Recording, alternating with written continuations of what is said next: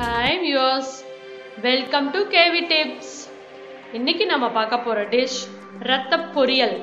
எப்படி செய்யலாங்கிறத பார்க்கலாம் வாங்க.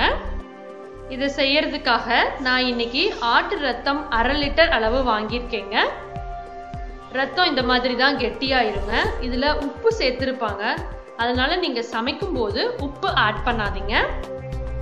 ஃபஸ்ட்டு நம்ம இதை வந்து ஒரு சுத்தமான தண்ணியில் நல்லா கழுவி எடுத்துக்கணுங்க.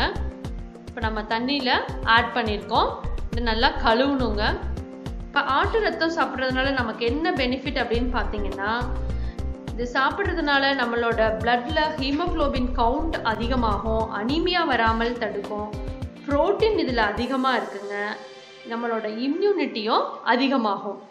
ஸோ இந்த ரத்தத்தை நம்ம இந்த மாதிரி கையிலேயே பெசைஞ்சு சின்ன சின்ன பீசஸாக இந்த மாதிரி உடச்சி வச்சுக்கணும். உடைச்சிக்கிட்டு அந்த தண்ணியை இந்த மாதிரி வடிச்சுக்குங்க ஃபில்டரில் இப்போ நான் வடித்து வச்சுருக்கேன். இந்த மாதிரி தான் இருக்கும். தண்ணியில் சுத்தம் பண்ணிவிட்டு கையிலேயே பிசைஞ்சு வடித்து வச்சுருக்கோம். இப்போ அதுக்கப்புறம் எப்படி செய்யலாங்கிறத பார்க்கலாம். ஒரு பேனில் எண்ணெய் ஊற்றிட்டு கடுகு ஆட் பண்ணிக்கோங்க.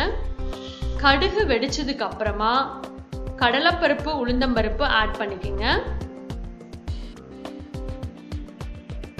அது கூட ரெண்டு வரமிளகா ஆட் பண்ணிக்கிங்க.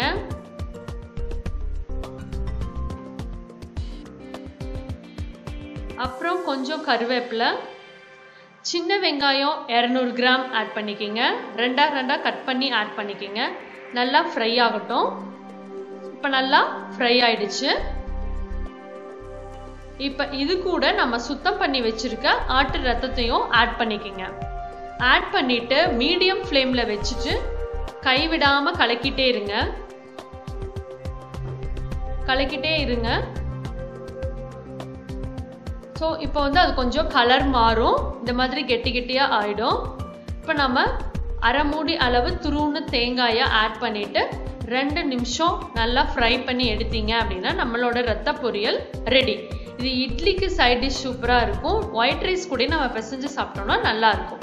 வீடியோ ட்ரை பண்ணி பாருங்க. மறக்காம சேனலில் சப்ஸ்கிரைப் பண்ணுங்க ஷேர் பண்ணுங்க பெல் பட்டனையும் கிளிக் பண்ணுங்க. தேங்க்யூ